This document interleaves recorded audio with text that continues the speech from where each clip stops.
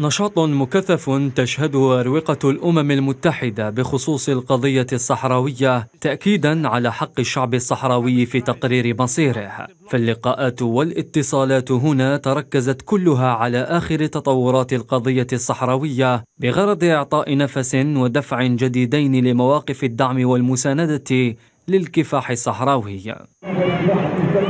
أجراس انفراط عقد الاحتلال تدق في آخر مستعمرة في إفريقيا يقول الوفد الصحراوي بتدارس سبل الإسراع في استكمال تصفية الاستعمار بإجراء استفتاء تتخوف منه الرباط كونها تعرف النتيجة مسبقا.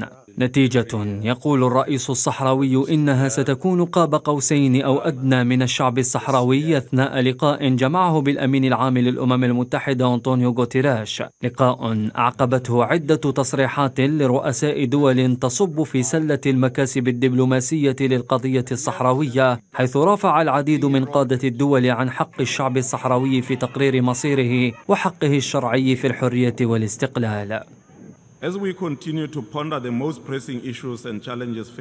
في الوقت الذي نواصل التصدي للتحديات المختلفة التي تواجه المجتمع الدولي اليوم دعونا لا ننسى مأساة الشعبين الصحراوي والفلسطيني.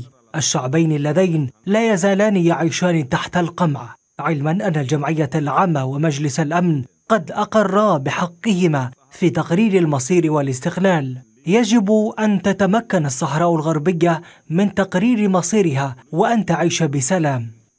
دول أخرى التزمت بدعم جهود الأمم المتحدة عبر مبعوثها الخاص إلى الصحراء الغربية ستيفان ديمستورا الرامية إلى إيجاد حل يرضي الطرفين في ظل تمسك جبهة البوليساريو بحق الشعب الصحراوي في الاستقلال.